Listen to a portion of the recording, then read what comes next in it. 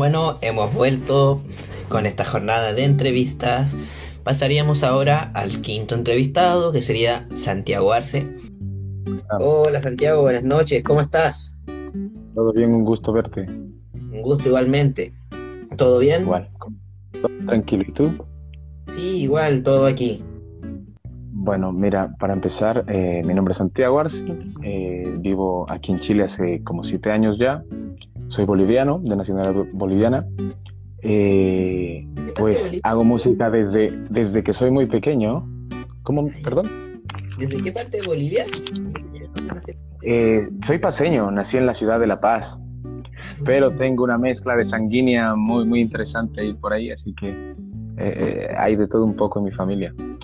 Eh, bueno, como te decía, desde muy pequeño eh, hago arte, hago música, hago teatro, hago danza. Entonces, casi siempre abocado a hacer lo que me gusta, que es el arte y entregarme al público. Ah, crecí en ese ambiente de alguna manera también. Vengo de, de una familia de, de- de artistas, si se puede decir. Mi papá también es actor allá, eh, mi mamá también hacía televisión, entonces de alguna manera siempre he tenido contacto con, con- con lo que es la tele, el teatro, la música y El todo lo arte. que conlleva al arte, exacto. Y así, con el tiempo y la vida, tú sabes que por cuestiones de trabajo y situaciones que a veces uno no controla, llegué a Chile y con el tiempo y el trabajo fui conociendo personas, acomodándome en, en mejores lugares, en, en- en trabajos igual mejores. Y un día de repente buscando por ahí, encontré el concurso, me, me decidí a hacer un video aquí estamos conversando. Y aquí la- las casualidades de la vida. Aquí estamos conversando.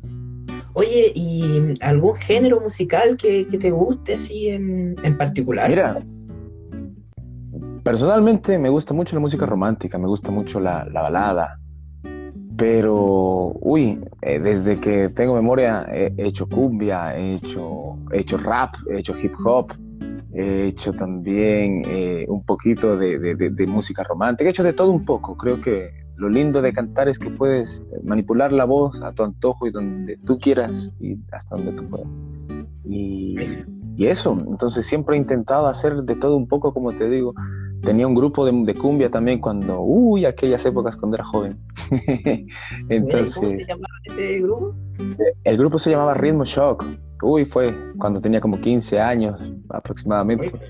Fue, fue un- bueno. fueron mis comienzos. Sí, de- toqué, tuve el honor de tocar con el grupo 1, que es un grupo de Argentina que, que hace un montón de cumbia. Tuve el honor de estar con muchos artistas también y, con- y compartir escenario con varias personas de, de- en mi medio muy importantes. Entonces podríamos decir que tienes una experiencia ya. Se puede decir que sí.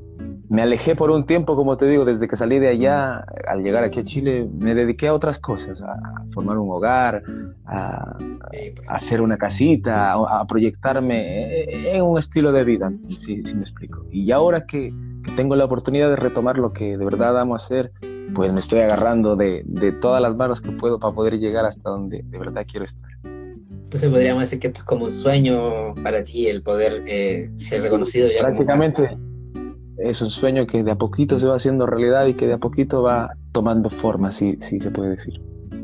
Oye, y bueno, me comentaste un poquito sobre tu inicio, el, eh, haber comenzado desde los 15 años con este grupo, y, pero ¿tienes alguna inspiración? También me comentaste que tu familia sí está ligada al arte. Quizás por ahí está tu inspiración, o quizás en algún artista, alguna banda, sea internacional, de Bolivia, Me gusta, de... me gusta mucho la música, como te digo, no tengo un artista en específico en quien me, me- me- me- con quien me identifique. Creo que hay muchos y, de- y según el género.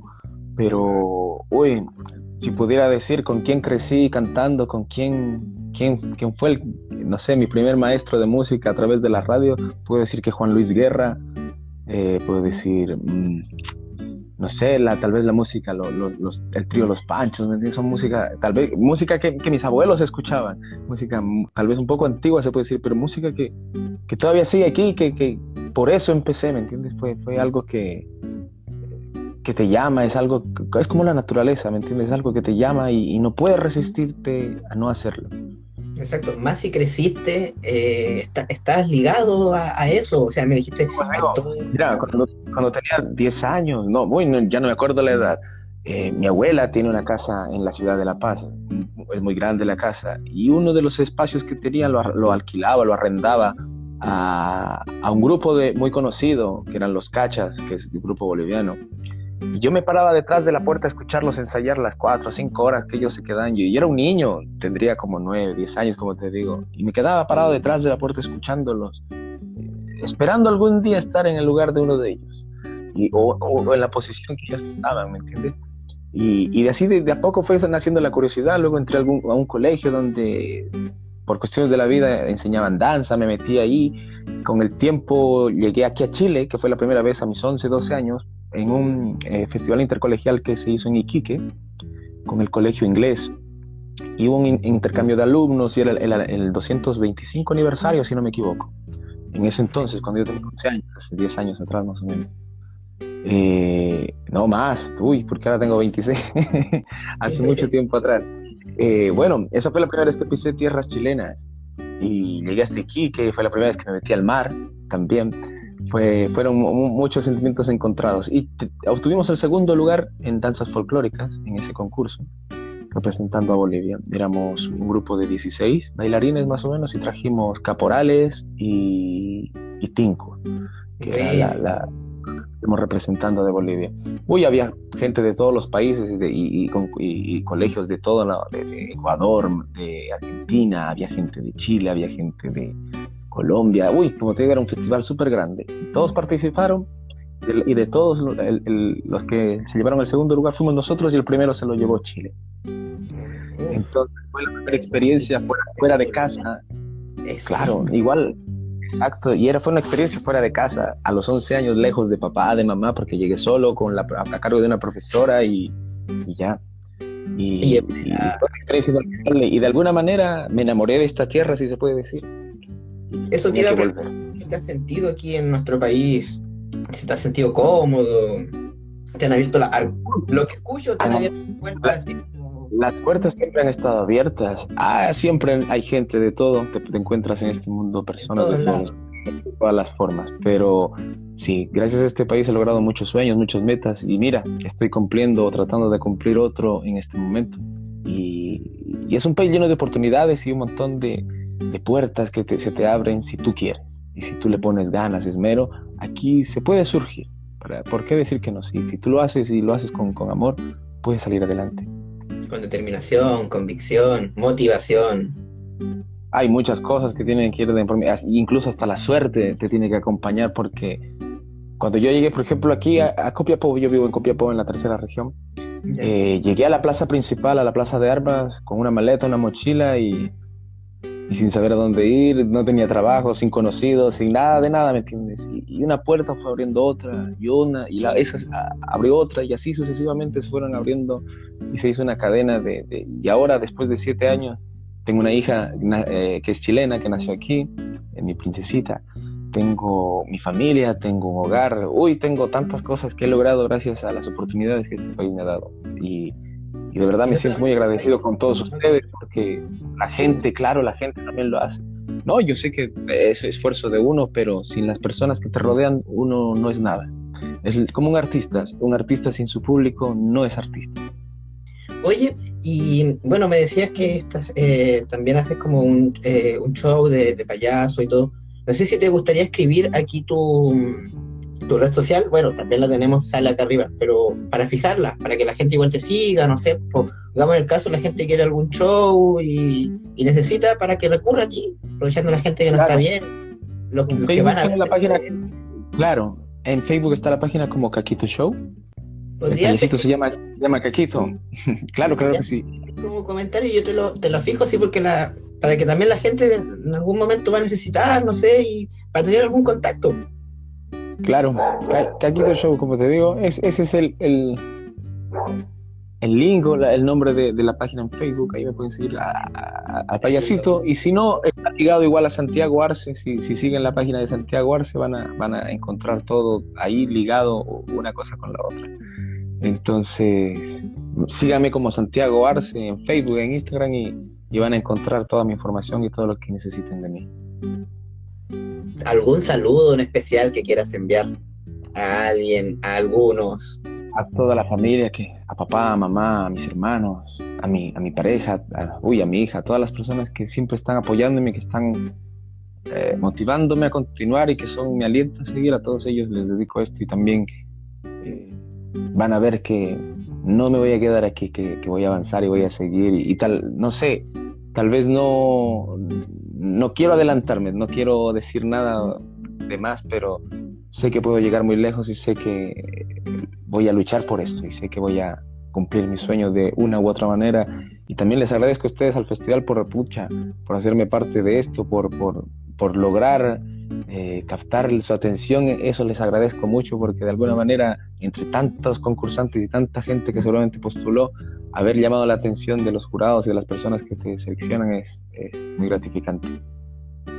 Aquí te escuchamos y dale. Dale. Mi vida te observarías a que no haya vista, te seguirías al final del mundo si en el día te perdiera hasta encontrarte no me marcharía y le pediría a Dios que te cuidara, que del peligro siempre te guardara y cuando llegue al fin la noche, darte las gracias por estar aquí. Oye, Santiago, eh, súper, me caíste súper bacán, eh, me alegra eh, poder escuchar un relato de una persona esforzada, que viene de otro lado, que llega a nuestro país y se instala y que se supera y que ha llegado lejos como, como tú, de que motives o nos invites a nosotros a votar por ti a la, y a la gente que está aquí viéndonos. Eh, no sé, persuadirla, motivarla un poquito. ¿Por qué debería votar por ti? Como, como les decía, este es un sueño que llevo preparando desde, desde muy pequeño. Es, es algo que, de a poco he tratado de ir formando como una bolita de nieve, echándole de a poquito, de a poquito, sentimiento, voz, talento, tiempo, eh, práctica, ensayo y uff, cuántas cosas más que van ligadas de por medio, trabajo, porque hasta para tener una guitarra tienes que trabajar y poder comprártela, Es mucho, mucho el, esfuerzo. Y como te dije, yo llegué aquí a Copiapó con las manos vacías y gracias a Dios eh, ahora tengo, uy, tantas cosas que, me cansaría de nombrártelas y lo más importante de todo lo que he conseguido creo que es familia.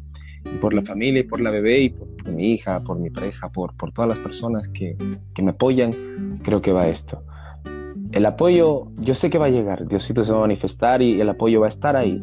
Las personas que, que me apoyen, que estén ahí conmigo, se van a hacer notar y estoy seguro que con el tiempo y lo los duelos lo van a confirmar y pues invitarlos a todos a que sean parte de la revista de Magazine, que sigan el festival, porque no solamente vienen entrevistas conmigo, sino con muchos más artistas que estoy seguro que también tienen mucho por compartir y, mucho que dar. Y esto es lo lindo de ser artista, que conoces personas, que conoces nuevos mundos, que conoces historias, que conoces, eh, uy, tantas, tantas cosas que incluso llega a parecer magia porque es así de lindo cuando tú haces algo que amas, lo haces con el corazón y, no te importa nada. Y los invito a votar por mí, a seguirme como Santiago Arce en mis redes, en cualquier red social, incluso estoy en TikTok también si gustan. Eh, entonces, los invito a seguirme, a compartir y a lograr un sueño más para que así pueda compartir mi música. Tengo un cuaderno lleno de canciones, canciones que me gustaría sacar al aire, canciones que me gustaría que tú y cualquier persona que esté sentada detrás de una pantalla pueda disfrutar. Y sentir y vibrar con él. y sentir y vibrar conmigo, exacto. Y, ya a eso vamos, ya a eso voy. Y pues bueno, espero estén conmigo, me apoyen y sigan siendo parte del festival. Ya pues Santiago, que estés muy bien, muy grato este momento conversado, así que el mejor de los éxitos, suerte en todo. Así que nos vemos algún día. Pues estaremos pronto ah, en contacto, si Dios quiere, y, con más noticias para este festival. Que estén bien, un saludo y cuídense mucho. Cuídate, Santiago, que estés bien. Chao, un gusto. Bendiciones. Hasta luego. Hasta luego.